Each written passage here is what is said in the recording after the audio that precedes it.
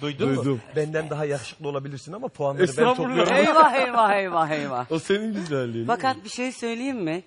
Kadir Bey'in dizilerinde bu kadar e, hoş olduğu yansımıyor.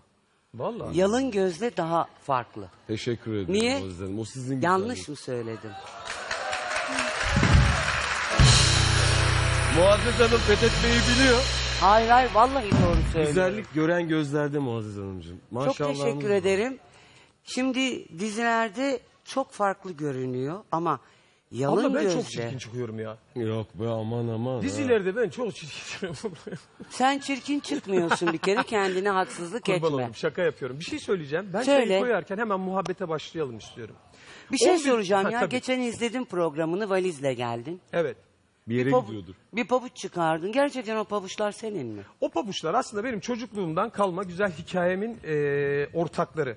Biz bunu hani şöyle izah edeyim. Bu cizlabet bilirsiniz bunu değil mi? Lastik pabuç. Ha, lastik papuç yani.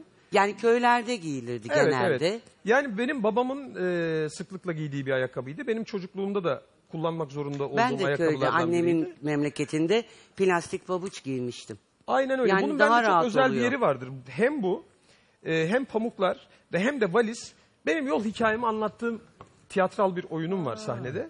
E, oradan hareketle Ama bu burada o gerçek, kısmı da- değil mi? Tabii Yani gerçek canım gerçek. Tiyatrosal oyun için Hayır hazırlanmış hayır bir şey asla değil benim yani. hayatıma dokunmuş hemen her şeyi hikayemin tam odağına koyarak anlattığım yolculuğumdan Ve ben küçük çok duygulanmıştım. Dedim ki helal olsun Uğur o ayakkabıları saklamış. Şöyle söyleyeyim.